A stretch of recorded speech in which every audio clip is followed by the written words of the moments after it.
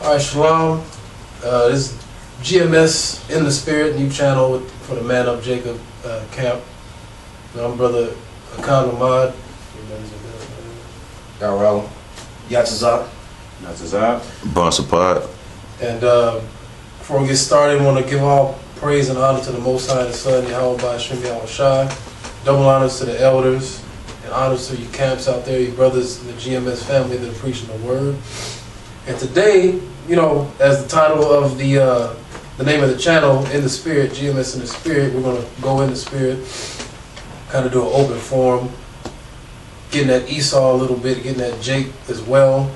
But uh, we're going over topics before we started because we planned to do a sit down, and so we're going over all the topics that we had. And the brother Bonson Pod had a uh, a quote by Theodore Roosevelt, quote I've never seen before.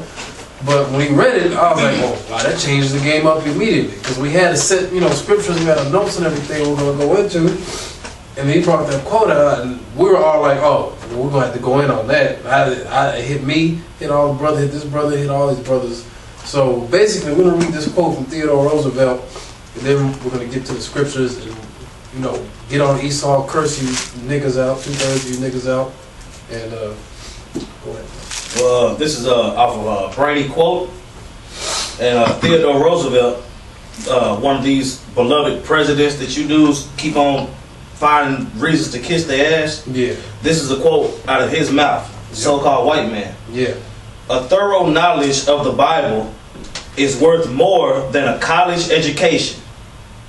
a thorough, a thorough knowledge of the Bible is worth more than a college education. The same knowledge that the elders possess and that they're putting out there for all us to learn from. And condemning these damn, you niggas are so worried about going to college and getting a degree, wasting all your money, getting a, a bachelor's or an associate's or a master's or a, doc, a, a, a PhD, a doctorate from college. You coming out in debt, and even if you go to, to, to when you go to college, you come out, the job you plan on getting, having gone all in college, it's gone. It ain't even there no more.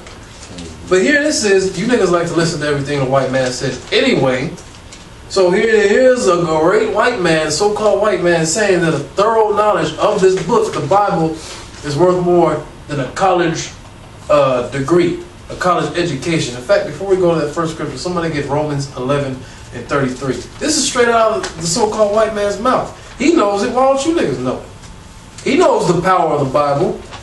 He knows what this book is worth. All right, and for him to make a statement like that out of his mouth, he must know. He he the, the higher ups, because he's just a puppet. He's slow on a totem pole. Right. So if he would make a statement like that, what makes you think that the higher ups don't know more than him? The elite that up there actually that, that throughout history have tried to destroy this book or to keep us from getting our hands on it and learning from it. That made it illegal for slaves back during the time of slavery for so-called Negroes to actually read this book. You would be uh, uh, uh, punished, right, if you were caught reading. But if you were caught reading the Bible, you'd be put to death. Right. So here this man is making a statement saying how the worth of this book, but you niggas don't want to take heed. The elders have been out there 25, 30, hell, and this is talking about Elder Tahar, Gabar, Ramlab, that, and, and, and I'm not even including the, the elders of our elders. Elders like uh, Abba Bivens, all right, Arya, Masha, elders that been out there going way, way back, Right. 30, 40, 50 years back, that have been teaching out of this book. Yak, Elder Yaquab, who was out there, there's a video of him on YouTube, he's out there teaching, he's what, 70 something years old, I believe? So this is the same book that they've been that they've been preaching, and you niggas don't want to, to, take heed. But if a so-called white man says, now see, since we just brought this quote out, Yeah. it's gonna be niggas all over the world that's, that, that that take heed and hearken to this so-called white man. Yep. He said that I'm gonna read it again. Mm-hmm. A thorough knowledge of the Bible is worth more than a college education. Mm. Niggas finna start dropping out of school. They finna start dropping out of these seminaries. They finna start dropping out of all these educational places God. that say, and they gonna start starting to get into these scriptures. Yep. But the thing is, it's gonna be too late. That's right. Cause you pass by brothers on these street corners You pass by the elders on the street corners, whether it's from Abba all the way down to the newest camps that's just now sprouting up all over the place. You're not taking heed to them, but you're gonna take heed to this white man. Yep. Marcus Garvey, Marcus Garvey said that back a while back that the true knowledge would be coming on the street corners. Right. And here it And, that- today. and the scriptures tell you to go out to the highways and the hedges. Yeah, that's right. You know what I'm saying? Right. I got that uh in uh, uh Romans 11 for you. Yeah, eleven thirty-three. Yeah, Romans 11 and 33. Oh, the depth of the riches, both the wisdom and knowledge of the Most High. How unsearchable are his judgments and his ways past finding out. Oh, the depth and the riches, the depth and the riches of the knowledge of the Most High. How? Where is the knowledge of the Most High in the Bible? Right. It says that his son, who's the word of the Most High, comes in the volume of the book, according, according to Psalms 40, verse 7, and Right. Hebrews 10 and 7. So this book is riches and is knowledge and it's deep. It's it's uh, uh it's simple, but it's deep. Like it says in uh, 1 Corinthians 11, I believe. Oh, the, the, the simplicity in Yahweh Shai. So this book is deep and it's riches. That's why in Revelation, what is it? The uh, second chapter, the ninth verse, it said, uh, I know that thou art, uh, uh, Rich. That, but thou art rich, he said, I know that poverty, but thou art rich. Right. Because according to the curses, and according to Haggai with the first chapter, we all broke according to this society in terms of money. We don't got nothing. Brothers are struggling day to day, week to week. But we got we're rich. Why? Because we have the knowledge and the depth of the knowledge of the riches of this Bible. But you niggas are so damn worried about going to college, getting a degree, getting into a damn uh, uh, fraternity, get, with them, them stepping clubs, and niggas be dancing all over the goddamn Greek place. shows and Yeah, shit. that Greek shit, which proves those are our people back then. Right. Getting all, getting Hellenized all over again. and this so-called white man. I'm gonna read it again. Yeah, yep, yep. A thorough knowledge of the Bible is worth more than a college education. So, getting this book down is worth more than going to 10, college for 10 years. your And, masters, your PhD, your all those different degrees yeah, yep, pale in comparison to the scriptures. yep. They have nothing on the Bible. Everything that they teach you in these colleges, hey, I went to college. Yeah, yeah. I didn't learn shit there. You know what I'm saying? I learned more in my three or four years in this truth than I learned it from pre-K through 12th grade through college. That's what? That's fucking 15 years right there. Yeah. I've learned more in my three or four years in the truth in my whole than, than I learned in my whole life. Man, I'm 32 years old, man. It's a lot of stuff you can just imagine. If I was 32 years old and I was born in the truth, you know what I'm saying? Right. I would be a lot better off than being a 32 year old coon. Yeah. in, in college. You know what I'm saying? I'm gonna read it again. A thorough knowledge of the Bible is more important, is worth more than a college education. Yep. To hell with SMU and Harvard and Yale and all them different schools. Fuck them. Yeah. Them schools gonna get your ass burnt to a crisp. That's right. Right. You either getting this, your only options right now are to get beamed up or burnt up. That's right. Period, point blank. It says, uh, fact, we'll get to it now. Isaiah 34. It's, no, Isaiah 33 and 6. In fact, you get that, uh, not the job. I got Ezekiel for you too. Come. Yeah, yeah, yeah. Hold, yeah, hold Ezekiel too. Get Isaiah 33 and 6, I believe. The wisdom and knowledge shall be the stability. Because, you know, niggas always get, they got the, the degree a plaque up on the wall. You know, they got the master's, of this and that. Whatever the hell they majored in in college, they got that up on the wall. If you got, if you even fucking have one. And, yeah, yeah, cap and gown, you got it saved and framed up and all that. But what's that gonna get you when martial law breaks out? When when all this legislation that they're putting into play this year, and that they're, they're going to continue to put into play to further come against the people here in this country, when that starts getting enacted, when this devil, the so-called white man, shows his horn, what's that going to do for you? What are you gonna? They're gonna come kick in your door. You're gonna hold up your your your, your plaque. Look, I got a college degree. They're gonna shoot you and that damn degree. All right, in front of your family. That's right. So it ain't gonna matter. This is what's gonna get you stable. This the knowledge of this Right. is what's gonna keep you stable in those times. Go ahead, uh, Dr. Zell. Cause we got Isaiah 33 and 6. And wisdom and knowledge shall be the stability of thy time. Wisdom and knowledge shall be the stability of thy time. So when all hell breaks loose, like we always talk about, this is going to keep you stable, like I just said. This is going to keep going to keep you from bugging out. All right, because they're going to believe you me. We're going to see some things that are going to have us shook. All right, the elders are saying that this this past weekend. We're going to see some shit that's going to have us like whoa. But guess what? If, if you're of the elect, and if you're the ones meant to retain the knowledge of this Bible, guess what you're gonna go right back to? The Bible. Oh, wait a minute. Like that I'm quoting the elder. Oh, that was meant to happen. Right. It was prophesied that we was gonna see people eating their kids. Yeah. It was prophesied that we was gonna see martial law and people getting shot dead in the street. Yep. So when you see that, it's just like the whole thing what they did with, uh, when they do uh, w- w- when the so-called white man when he does certain shit is to condition the people to be okay with what's going on. Yeah. This Bible conditions the elect to know what's going on. Yeah. Yeah. So when you see a bitch chewing on her son's kneecaps, he. Yep. Yep. or when you see a father eating his daughter's elbows, you're going to understand from this. Yeah. Scripture say, blessed is he that readeth.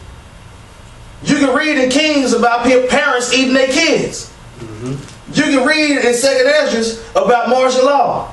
You can read in all through the scriptures about people going through hella hard times through the scriptures. You read about that. The scriptures say that this was put together for our learning. Yeah. Written aforetime, written for our learning. Somebody get that. If you know where it is. Somebody get that, coach, please. 15. You know what I'm saying? So for the scripture, the scriptures condition us to be okay when that time comes. Just like the elder said, yeah, you might see something that you had never seen before, but it's gonna take you right back to the scriptures mm-hmm. because you read that. You read that all hell was gonna break loose. You read that millions of people was gonna die. You read about people melting. Mm-hmm. Daniel, when Daniel saw the vision, he got sick. Sick. Yep. So he was shook. Like. Ezra's too. You know? Daniel and Ezra's are here today, whether you believe it or not. Yep. We don't know who they are, but they all walking the planet, more than likely. That's right. Read that. Romans 15 and 4. For whatsoever things were written aforetime were written for our learning, that we through patience and comfort of the scriptures might have hope. This was written aforetime, so we can know that people gonna be eating their damn kids. Yep. That's what it was written for. And blessed is he that reads that. Yeah.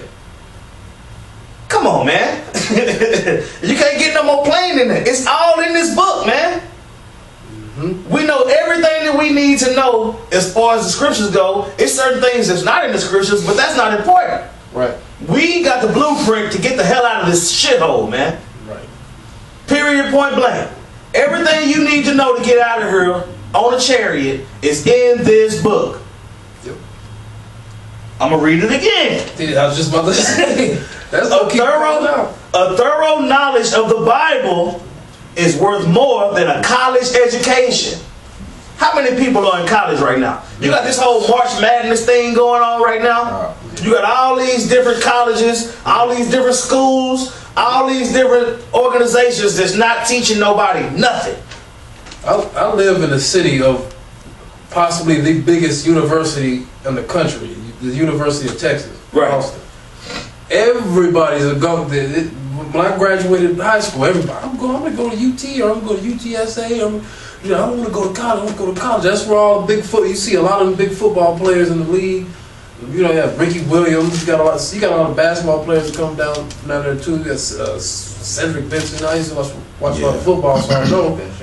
Vince Young. You got a lot of big players that come from down there. So that's a big college city down there. Everybody is talking about the- getting and I, and I, and I live five minutes from that bitch. If I go down there, you see all white girls and niggas, niggas especially walking around fast trying to get to their class and shit on the bus sweating and all that just to get get to class to learn nothing but a bunch of bullshit. Right. You know? But this Bible is worth more than all that. Because your college degree is not you ain't taking you're not taking this away from America. You got something? I Yeah, know you got something. talking about college education. This uh Jake got dreams of being somebody. This uh Ezekiel twenty and thirty two. And that which cometh into your mind shall not be at all. That that ye say, we shall be as the heathen, as the families of the countries to serve wood and stone. Yeah. The he- go ahead. Go ahead. No, what you gonna say? The heathens I like to go to college to get an uh, education in college. So our people got the mindset of want to be like, I want to go to college, get a good Yeah. education, get a degree to get a good job. That's what the heathen do, man. the- yep. Dreams of being somebody and shit. Yep. We the, uh, we supposed to be into this Bible. God. Right. Because in Hebrews, what is it, the 10th chapter, it says that, I believe it's the 10th chapter, it says here we have no continuous city. So what the hell is the point of going into college when all this shit's gonna be burnt up anyway? Because you got that in uh, Corinthians. Hey, go ahead and read. it. First Corinthians chapter 3 verse 19. Now I'll start at verse 18. Let no man deceive himself. If any man among you seemeth to be wise in this world, let him become a fool, that he may be wise. Yeah, what is it to be wise? What's one of the ways to be wise in this world? Going to college, uh, uh, uh, getting your degree, or, or admiring one of these so-called college professors, and then they don't know shit. In fact, y'all, uh, I know y'all, y'all seen the, the second, was it, yeah, the second Transformers, when he's the, the uh, Shia LaBeouf is in the classroom, and that asshole professor's up there, he, chew, he chews on an apple, then he drops it, and then he, uh, the, the, the little white girl picks it up, and he's like, yeah, finish that for me. And he's making this big stupid ass speech. That's what the damn college professors do. They just up there making a show. Right. You know? Isn't it? They don't. They don't. They, they they they get paid to teach people what to think, as opposed to, to, to teaching you how to think, Right. which is what the elder brother always puts on us in our camp. Teaching teaching us how to think, not what to think. That's what you go through all of school being taught. What exactly to think? That's why you always get taught the same shit every goddamn year at some point, especially in grade school. Verse 19. For the wisdom of this world is foolishness with the Most High. The wisdom of this world is foolishness with the Most High. It's like this brother always says, "Hey, that that wisdom of this the wisdom of this world is gonna get you killed. It's not gonna it's not gonna get you on no chariot." Guess what? We're right here trying to get this book down pat to the best of our ability. It's not even guaranteed that we're gonna make it on a chariot. So if you're trying to get a goddamn college education, you damn sure ain't gonna make it. I'm You gonna I'm gonna read it again. go. Theodore Roosevelt.